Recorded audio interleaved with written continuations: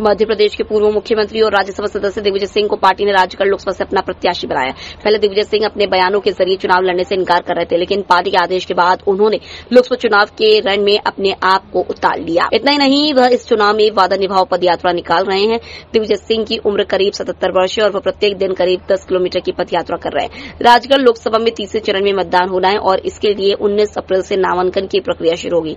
दिग्विजय सिंह द्वारा चुनावी समय में खुद प्रत्याशी होकर निकाली जा रही पदयात्रा से कांग्रेस के नेता भी गदगद हैं। मैं भी दिग्विजय सिंह जी अभी गए थे मीटिंग के लेने तो मैं उसमें गया था। गजब का उत्साह है कार्यक्रम। गजब का जनता उनको प्यार कर आप समझे मतलब राजगढ़ ज़िले और चाचोड़ा रावगढ़ और सुरेश सीट। में दिग्विजय सिंह जी चाहने वाले की कोई कम जनता बहुत चाह रही है और गजब के मेहनती भी है वो। इतनी मेहनत कर रहे हैं। मैं सोचता हूँ और हमें पूरा विश्वास दिग्विजय सिंह जी राजगढ़ सीट अच्छे मतों से जीते। भाई साहब, बीस किलोमीटर तो रोज की परिक्रमा, प्लस इधर उधर गलियों में जाना, इसमें जाना तो बीस पच्चीस किलोमीटर रोज की पद यात्रा कोई छोटी मोटी बात इतना मेहनती आदमी मैंने ज़िंदगी में देखा।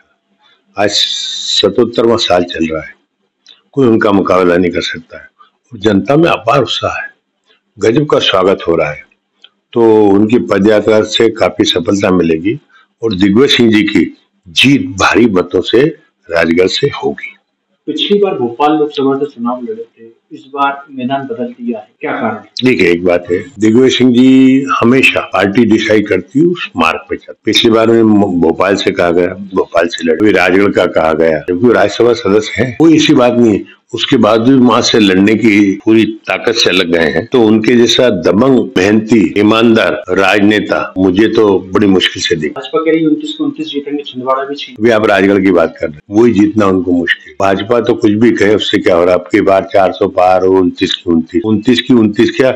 मध्य प्रदेश में आधी सीट भी जीतने में भाजपा को पसीना जाए